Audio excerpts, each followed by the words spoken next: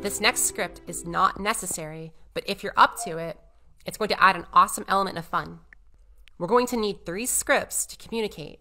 Our first script registers the spawn point with the spawn manager, and the spawn manager receives events from spawn points and from players via the water balloon that hit them.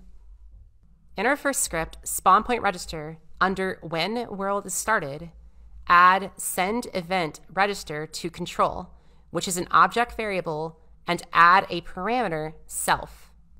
This is then attached to our spawn point and references our spawn controller, which is a pyramid object. Once this script is attached and references the controller, we can duplicate and place these spawn points all over the map.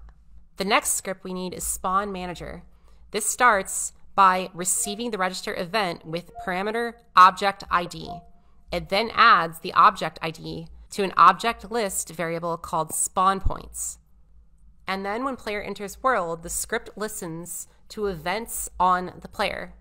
Listen to is an awesome code block, allowing you to get all of the events that run on another object, or in this case, on a player. Please note you cannot run a script on a player, but we can send events to the player which are received here. Next, we will receive another custom event called player hit, which is received with a player ID parameter. And then we will respawn the player ID to a random item from the spawn points list. You can find get item at index from list at the bottom of operators. Now we'll place a random number with zero on the left and the length of the list code block on the right.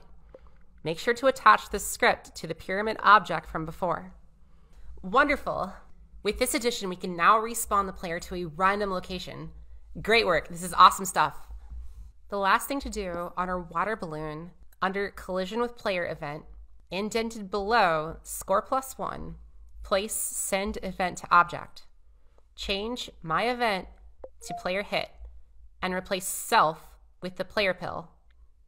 You also need to place the player pill in the empty parameter slot. Now on our spawn manager, we will know what player was hit and we can respawn them accordingly. Now we can test this out. Splash! That's so cool and so much fun. And the next part, we're going to look at resetting the world entirely.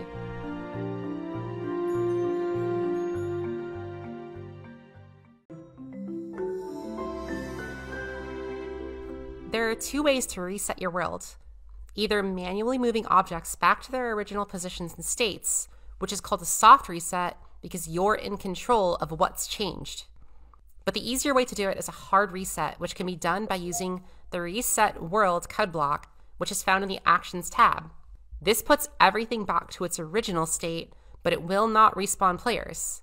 You can easily respawn players in the world by running a simple script that says when world is entered by player, respawn player on self. That script can then be attached to your starting spawn point. In our case, we will randomly respawn players. On the scoreboard script, under the player enter event, we will add send event to object and change it to send player hit to player with the parameter player. This will randomly distribute all of the players on world reset, and in the next step, we will use our trophy to reset the world.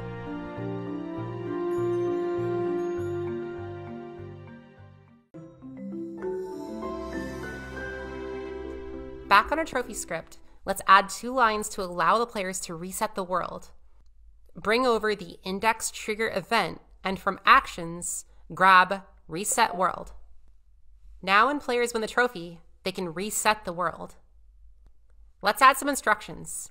From the trophy's property panel, zoom into the grouping and edit the text to say, press index trigger to reset world. This is incredible. You've now made a game that can be replayed over and over again. Seriously, this is wonderful work and this is no small feat. And if you're still working on some of the earlier scripts, no need to worry at all. Please feel free to continue taking your time in this section.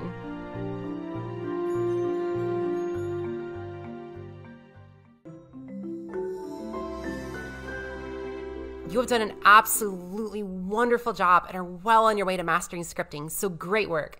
We have lots of tutorials in and out of Horizon. Be sure to experiment in this world playing with these new tools and try out different ideas and combinations. You can join us for the publishing tutorial next, where we're going to share your work with the world. I'll see you on Horizon.